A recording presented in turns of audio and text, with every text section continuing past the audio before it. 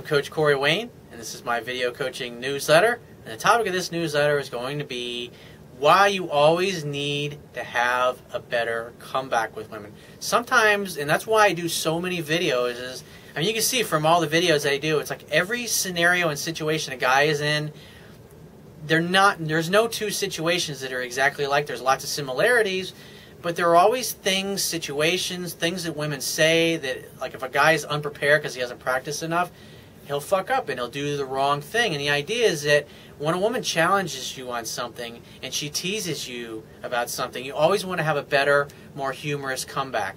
I mean, just like James Bond does. Like in the movie Casino Royale, there's a part in the movie where he had just won this Jaguar, this old, old uh, collectible Jaguar from the one of these bad guys that he's following. And this guy's a real bad husband, and he's got a really hot wife, and James Bond wants to seduce her.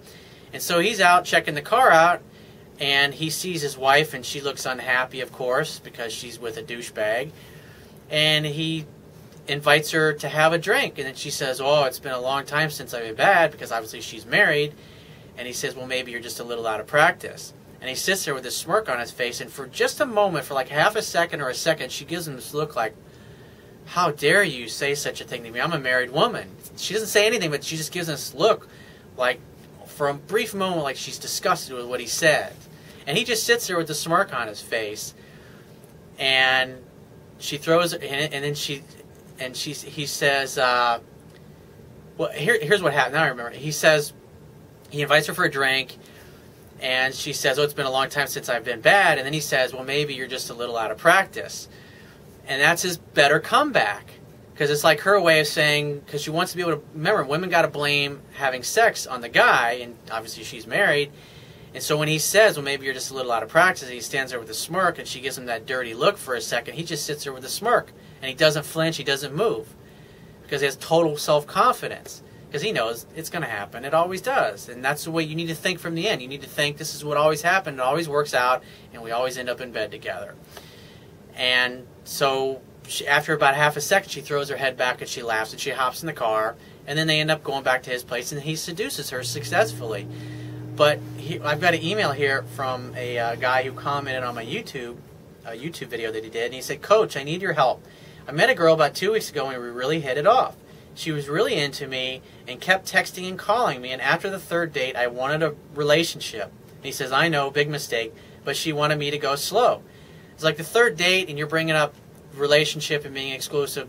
You you totally fuck things up when you do that because it's you're just not there. I mean, what, that's why you never bring these things up because it's the woman's department to bring these things up, and as all you have to do as a man is simply create the next romantic opportunity for sex to happen when she reaches out to you, when she texts you, when she calls you. Hey, great to hear from you. I'd love to see you. When are you free to get together? Question mark and text that back to her. Let her tell you. Make a definite date. Either go pick her up or meet her out someplace. And you just do that over and over, and you continually seduce her over and over. That's the man's job is to create an opportunity for sex to happen.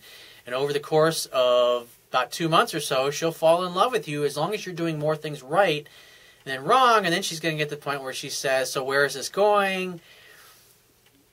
Are you dating anybody else? Or if you are dating other people, you better not be sleeping with them." She'll say things like that, and then you just say, "What do you mean?"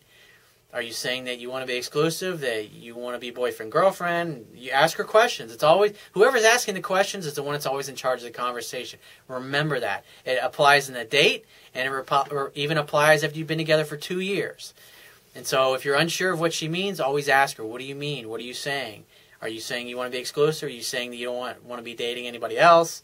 And she'll say yes. So you're saying, so you want to be boyfriend, girlfriend? She'll say yes. And until she brings it up, she's not there. And that's why you don't have to worry about it. And so you're totally complicating things and fucking things up by bringing that up after on the third date. It's ridiculous. I talk about it in my book. Don't do it. It's the quickest way to get yourself rejected and put in a let's just be friend zone, or having the girl say, don't complicate things, or she'll say, I'm not ready for a relationship, or I'm not looking for a relationship. And this girl told you to slow down.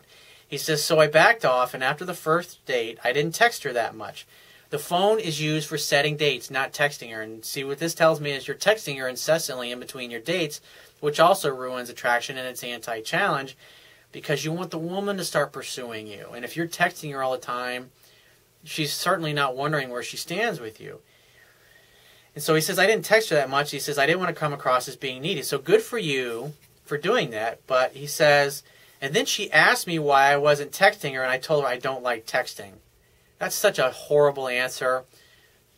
Because what's happening is is you were obviously texting her all the time. Now you say, "Well, I don't like texting." After you basically spent the past month texting her constantly, so that's bullshit. And it's a lie, and so she perceives it as being a lie.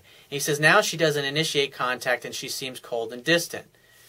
Well, she probably feels like you don't like her, or you're not really that into her, and you lied to her basically. And the best, so when she says, "How come you haven't been texting me?" You just say, "Oh, I've been really busy this week." Hey, when are you free to get together?